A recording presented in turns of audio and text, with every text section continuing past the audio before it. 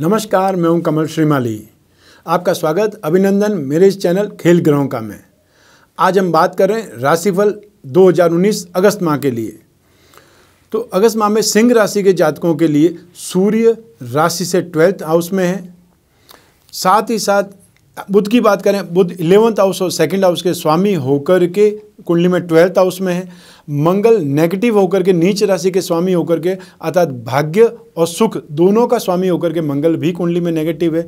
सिर्फ़ शुक्र बहुत अच्छी पोजीशन पे है कि कुंडली में टेंथ हाउस का स्वामी होकर के और थर्ड हाउस का स्वामी होकर के शुक्र ज़रूर बहुत अच्छी पोजीशन पे है। राहु बहुत पॉजिटिव पोजीशन पे है। बृहस्पति को भी नेगेटिव नहीं बोल सकते और शनि है, वो कुंडली में राशि से फिफ्थ हाउस में बैठ करके फाइनेंशियली वरीज देगा फाइनेंशियली क्रंच देगा फाइनेंशियली संतुष्टि नहीं देगा। तो सबसे पहले धन और संपत्ति की बात, अर्थात इनकम और ठीक उसके साथ सेविंग्स तो इलेवंथ हाउस गेन का है इलेवंथ हाउस का स्वामी कुंडली में बुद्ध है सेकंड हाउस धन और संपत्ति का संचय का उसका स्वामी भी कुंडली में बुद्ध है, और शनि की दोनों ही भाव पर दृष्टि है। और शनि स्वयं कुंडली में पंचम स्थान में है, सप्तम स्थान का स्वामी होकर के। तो सप्तम स्थान के लिए तो ये स्थिति योग कारक स्थिति हो जाती है, क्योंकि सप्तम स्थान व्यापार का है, सप्तम स्थान ग्रस्त सुख का भी है तो वह वहाँ से इलेवंथ हाउस में शनि है, उसकी तीसरी दृष्टि सेवंथ हाउस पर है। शनि की तीसरी दृष्टि कभी खराब नहीं मानी जाती है।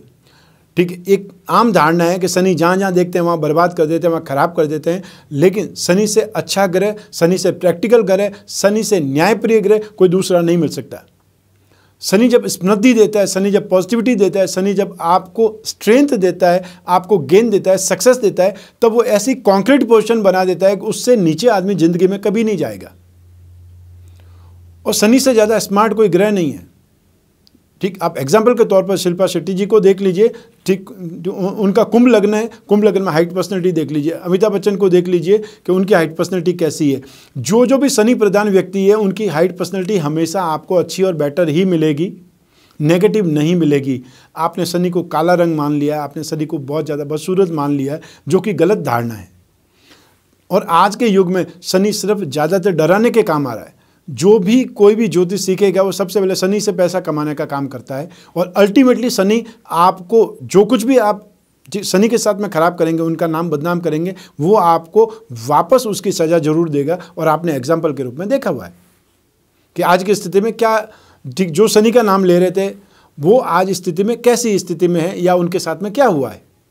एक और चीज़ है, बहुत ध्यान देने की स्थिति में है, जिन जिन लोगों का नाम राम है अतः राम शब्द उनके नाम में शामिल है। तो आज की तारीख में उनके साथ में क्या हुआ हुआ है, ये आप स्वयं देख लीजिए। आपने एग्ज़ाम्पल के तौर पर आपको खुद को पता चल जाएगा कि जो जो नाम राम थे, चाहे वो आशा राम नाम है, राम रहीम नाम है, चाहे कोई और, ठीक है, हरियाणा के कृपा राम जी महाराज हुए हैं, आप उनको देख लीजिए। और भी एग्ज़ाम्पल आप ढूंढ लीजिए।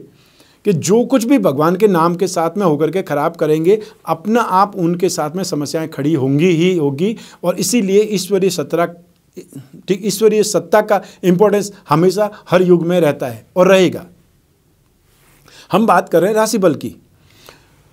तो धन और संपत्ति की जहाँ तक बात है, उस और आपको संतुष्टि नहीं मिल पाएगी। चाहे शनि की दृष्टि के कारण बोल दीजिए और या आप कुंडली में बुद्ध के कारण बोल दीजिए कि बुद्ध दो ऐसे भाव का स्वामी हैं जो कि फाइनेंस से रिलेटेड है, लेकिन वो कुंडली में ट्वेल्थ हाउस में ट्वेल्थ हाउस को एक्सपेंसेज बोलते हैं। तो पैसा ज़्यादा खर्च हो जाएगा। पैसा घूमने फिरने पर ठीक खर्च हो सकता है। पैसा खर्च आपका हो सकता है। ठीक है सहज सपाटे के लिए आपकी लाइफ में फैसिलिटीज़ को लेकर के आप आप लाइफ में दिखावा करना चाहते हैं, नई गाड़ी खरीदना चाहते हैं, घर में रंग रोगन कराना चाहते हैं, साज सज्जा करना चाहते हैं इंटीरियर कराना चाहते हैं, पैसा आपका खर्च होगा। क्योंकि शुक्र कुंडली में ट्वेल्थ हाउस में है, जो कि बेटर माना जाता है, क्योंकि अल्टीमेटली वो सुख सुविधाएँ देता है।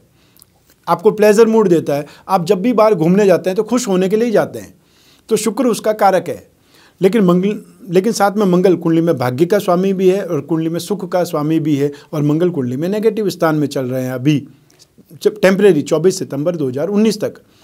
तो वहाँ तक आपने जो भी घूमने फिरने भी जाते हैं, घर का कुछ काम कराते हैं, तब भी मैं आपको सावधान रहने की सलाह दूँगा कि जो भी ठेकेदार से आप काम कराते हैं, जो भी कॉन्ट्रैक्टर से काम कराते हैं, जिसको भी आप, कोई इनको डील करते हैं, आप उस डील को लिखित में ले लीजिए और उसके साथ में टाइम फ्रेम जोड़ दीजिए।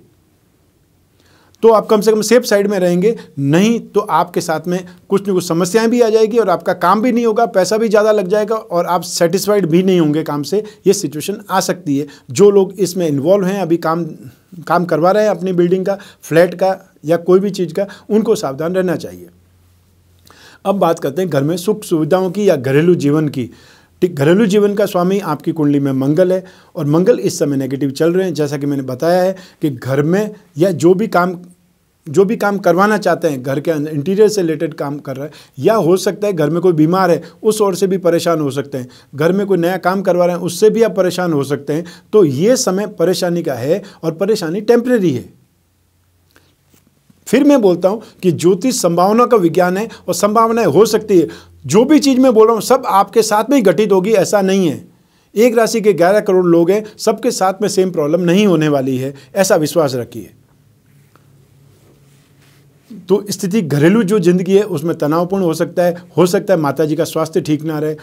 हो सकता है बच्चों के स्वास्थ्य को लेकर के आपको दौड़ भाग करनी पड़े, डॉक्टरों के चक्कर काटने पड़े।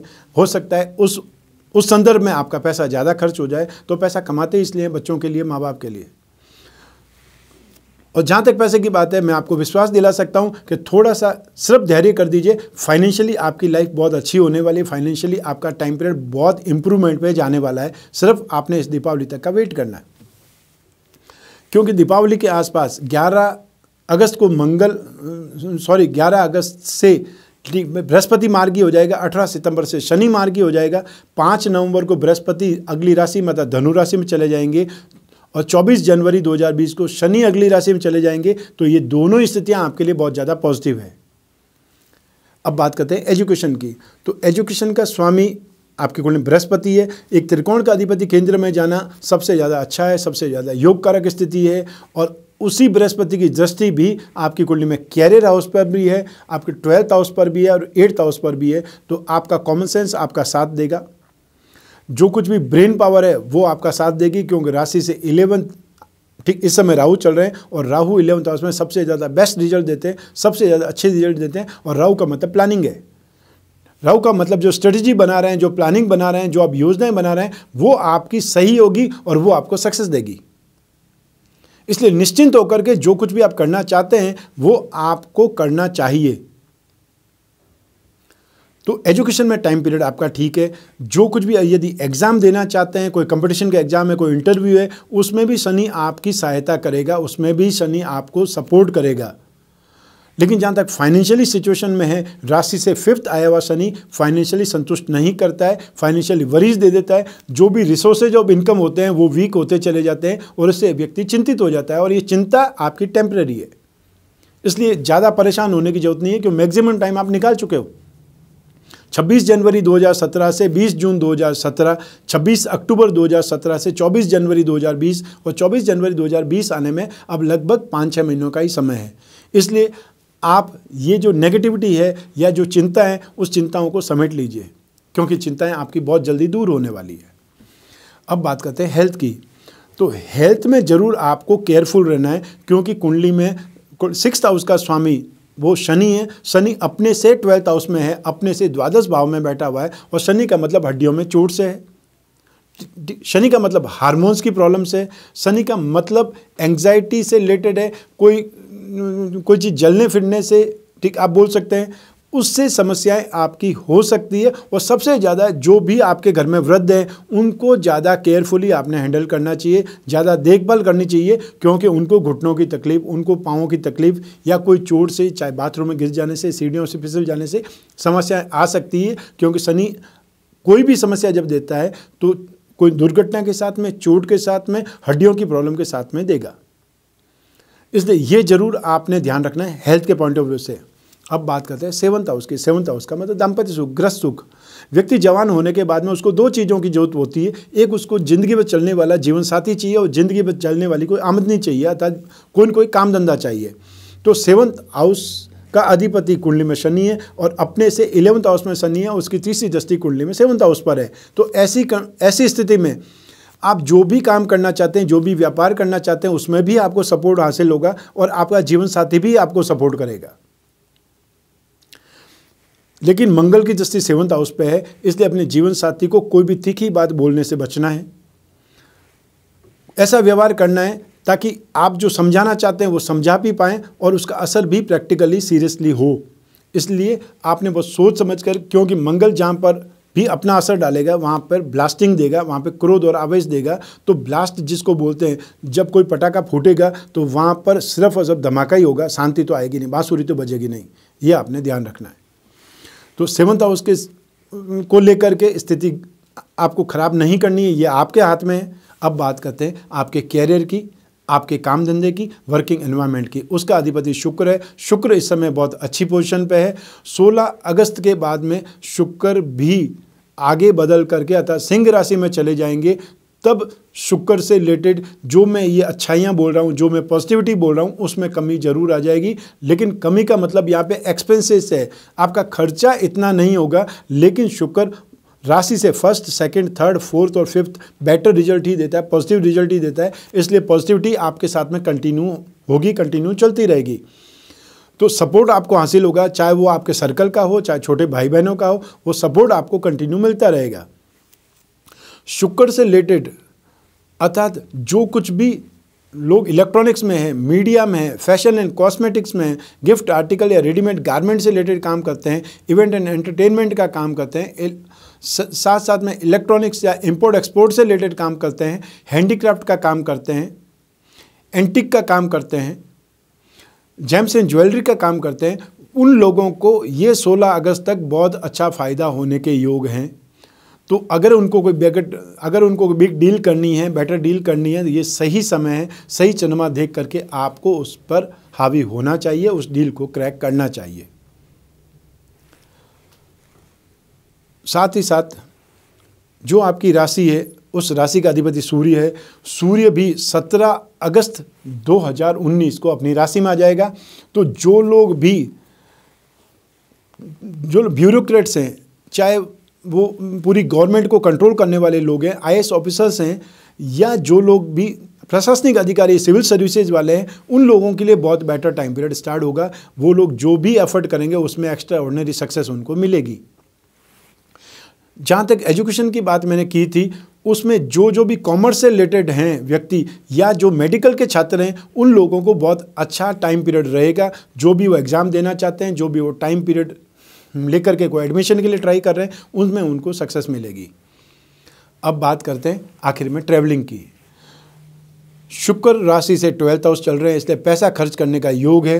वे, पैसा वेस्ट हो जाए या पैसा ऐसे ही खर्च हो जाए उससे अच्छा घूम करके आ जाइए। तो जो कुछ भी आपके साथ में होने वाला है ज्योतिष के अनुसार जो टाइम फ्रेम आपके साथ घटित करने वाला है, उसका फ़ायदा लेने में ही भलाई है। क्योंकि ऐसे ही पैसा खर्च करने की जगह वेस्ट पैसा खर्च करने की जगह एक अच्छी मेमोरी बना लेना ज़्यादा बेटर है, क्योंकि यादें ज़िंदगी भर आपका सहारा बनती है। आप पैसा इकट्ठे करते जाइए, अपने बच्चों के लिए, अपने माँ बाप के लिए, घर गृहस्थी के लिए, चाहे मकान के लिए, इन सब के बावजूद भी आप जब भी अपने आप को सोचेंगे अपने बारे में तो जो आपने मधुर गुजारे हैं, अपने परिवार के साथ में, अपनी पत्नी के साथ में, अपने जीवन साथी के साथ में, वही आपको सबसे ज़्यादा यादगार रहेंगे। इसलिए मेमोरीज बनाने का यह टाइम पीरियड है। पैसा तो जो खर्च होगा वो वापस आने वाला है। जैसा मैंने आपको बताया कि बहुत जल्द आपकी आर्थिक स्थिति और ज़्यादा बेटर होने वाली है। जो चिंताएँ वो भी जाने वाली है। इसलिए निश्चिंत होकर के घूमने फिरने जाना है। तो आप जा सकते हैं। और मैं आपको विश्वास दिलाता हूँ, जितना भी पैसा खर्च होगा, बहुत जल्दी वो पैसा आपके पास में आ जाएगा। तो ये था अगस्त 2019 का राशिफल, मासिक राशिफल। आपने ज्योतिष को एक प्लानिंग के तौर पर एक गंभीरता के साथ में, लेकिन अंधविश्वास के बिना अपनाना है। ऐसी संभावना हो सकती है। जब हो सकती है, सावधान रहने में क्या बुराई है? सब कुछ ज्योतिष जो बोलता है, वो ही हंड्रेड परसेंट सही होगा। ये अंधविश्वास के बिना ज्योतिष को प्लानिंग के तौर पर प्रैक्टिकल होकर के अपनाएँगे तो आपको कभी भी निराशा नहीं होगी, कभी भी हताशा नहीं होगी और कभी भी ऐसा नहीं लगेगा कि हमने वेस्ट ही कोई चीज़ को प्लान किया और हमने किसी चीज़ को फॉलो किया और उसके बाद में हमको सक्सेस नहीं मिली या निराशा लगी, ऐसा नहीं होगा। स्वस्थ रहिए, प्रसन्न रहिए, अपना, अपने बच्चों का और जो आपके माता पिता हैं, घर में वृद्ध हैं, उनका बहुत ज़्यादा केयर करना है, बहुत ज़्यादा ध्यान रखना है। जो समय अभी चल रहा है, जो कुछ भी आप एफर्ट कर रहे हैं, इतनी मेहनत कर रहे हैं, वो वो मेहनत किस लिए कर रहे हैं? संपत्ति आप खड़ी कर रहे हैं, पैसा आप खड़ा कर पैसा बचा रहे हैं, जो सोना चांदी आप इकट्ठे कर रहे हैं, वो सब किसके लिए? अपनी संतान के लिए। तो संतान के लिए सिर्फ़ रुपया पैसा ही नहीं एनवायरमेंट भी देकर के जाने की ज़िम्मेदारी आपकी है। यदि आप इस धरती को सिर्फ़ शोषण करके चले गए, इसको दोहन करके चले गए और वापस इस धरती को रिचार्ज नहीं किया, चाहे वो ग्रीनरी के रूप में, चाहे चाहे साथ में वाटर हार्वेस्टिंग के रूप में, तब आप क्या होगा? हो सकता है आने वाली पीढ़ी सिर्फ़ आपको कोसे कि जो हमारे पूर्वज थे, वो धरती का इतना ज़्यादा नुकसान करके चले गए कि आज की तारीख में हमको अच्छी हवा के लिए, पानी के लिए भी हमको ढूंढना पड़ रहा है, परेशान होना पड़ रहा है स्ट्रगल देखना पड़ रहा है। ऐसा नहीं होना चाहिए। और ये ज़िम्मेदारी आपकी है, मेरी है, हम सब की है। जो आज की जनरेशन है, अगर वो एफर्ट नहीं करेगी तो नेक्स्ट जनरेशन नेक्स्ट जनरेशन को शिक्षा कहाँ से मिलेगी? और नेक्स्ट जनरेशन को हमें ज़िंदा भी रखना है और अच्छे एटमॉस्फेयर भी देना है, ये ज़िम्मेदारी हमारी है। तो जो भी ये प्रोग्राम देख रहे हैं, उन सबसे मेरा करबद्ध यही प्रार्थना यही निवेदन है कि प्लीज़ कुछ कर सकते हैं, बहुत ज़्यादा देरी हो जाए, उससे पहले कुछ न कुछ कीजिए और प्लीज़ कुछ कीजिए। नमस्कार।